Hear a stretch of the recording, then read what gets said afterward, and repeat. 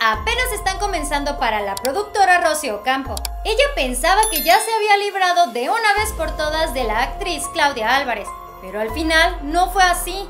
Debido a que las influencias de la actriz en Televisa son demasiado altas, Rosy Ocampo no tuvo más remedio que incluirla al elenco de su nueva telenovela llamada Vencer el Pasado. Como lo podemos recordar, Claudia ya fue la protagonista de la telenovela Vencer el Desamor. Rosy Ocampo no le pudo negar el papel de Ariadna, debido a que ella es prima colateral del dueño de Televisa, Emilio Azcárraga. Debido a esas gigantescas palancas que tiene en la televisora de San Ángel, Claudia Álvarez quiso seguir apareciendo en la saga Vencer, y a pesar de que no estaba para nada considerada para la tercera parte, no tuvieron más remedio que darle un cachito en la producción. Las advertencias ya se las habían dado a Rocío Ocampo desde el 2017 cuando le quitaron su exclusividad.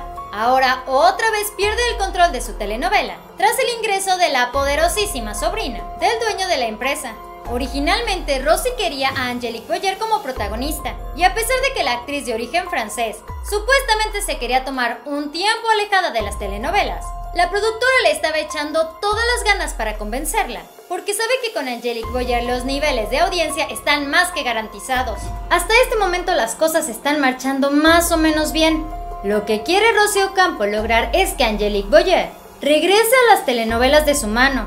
Pero el clima de tensión ya apareció en medio de la producción, cuando se dio a conocer que Claudia Álvarez también estaría ahí.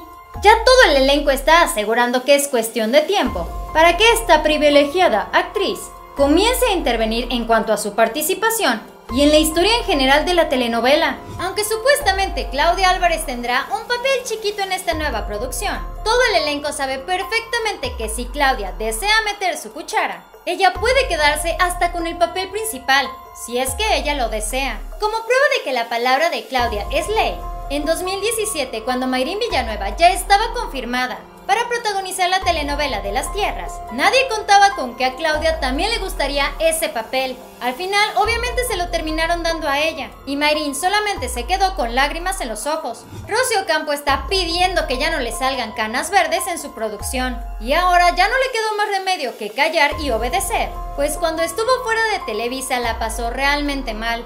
Ella no encontró trabajo en ninguna parte y claro que aprendió la lección. Por esta razón está dejando que Claudia Álvarez haga con su telenovela lo que se le venga en gana. Esto fue Famosos de Cerca. Dale like a este video, suscríbete a nuestro canal de YouTube y síguenos en Facebook. Que tengas un excelente día. Nos vemos muy pronto. Bye.